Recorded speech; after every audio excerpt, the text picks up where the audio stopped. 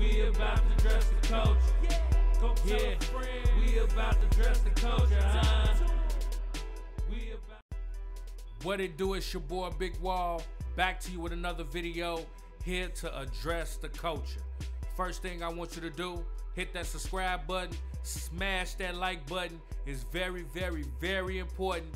Hit that little bell on the side, click all, be a part of the culture. So anytime I drop a video, you'll be the first one to get it. Now check it out.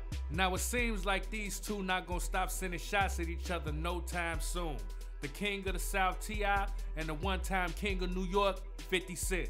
Now these two have been sending verbal shots back and forth through social media. It all started when T.I. challenged 50 Cent to a Verzuz battle. He felt like his catalog could stand up against 50 Cent catalog.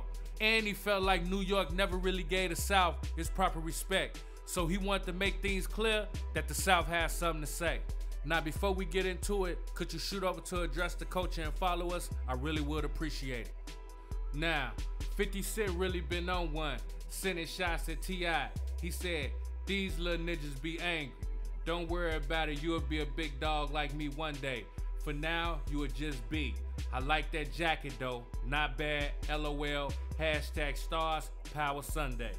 T.I. responds, pull up then, big dog homie, OG, come on with your one album and them other lukewarm songs you got. Go on get dusted off, kid. 50 Cent kept it going. Bro, your beard is not quite connected like your music. You do know I did 10 million on the second album too. You just make sure you at work on time. Okay, hashtag Starz power this Sunday. T.I. respond, my I don't care face. Now pull up and receive this smoke, sir. 50 kept it going.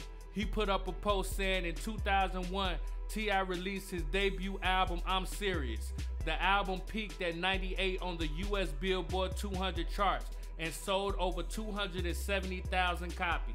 50 say, bro, you can't be serious. Wait, I'm sorry things didn't go the way you wanted them to, but look on the bright side, you got a job. Hashtag Starz, power Sunday, 9 p.m. T.I. responds, I'm still way doper than you, dude. Just pull up though. At Verzuz TV. And 50 didn't stop there. He put up a post saying, even if a bee could explain to a fly why pollen is better than ish, the fly wouldn't understand.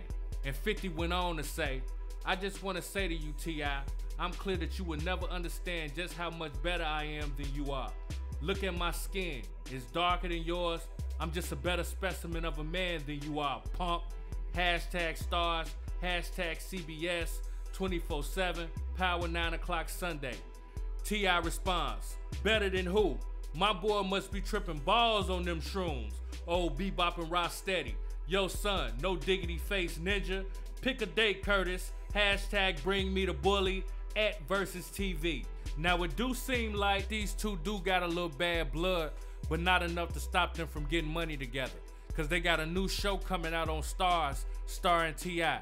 But you let me know, do you think the beef is real or they just using it for promotion? And do you think that T.I. is better than 50? If not, who you think T.I. should go up against? Let me know in the comments, cause like I said, I'm always down for a good conversation. This your boy Big Wall, and this is Address the Culture. And remember, your culture makes you who you are, so make sure they respect it. I'ma catch you on the next video. I'm out. We about to dress the culture. Go tell Yeah. a friend. We about to dress the culture.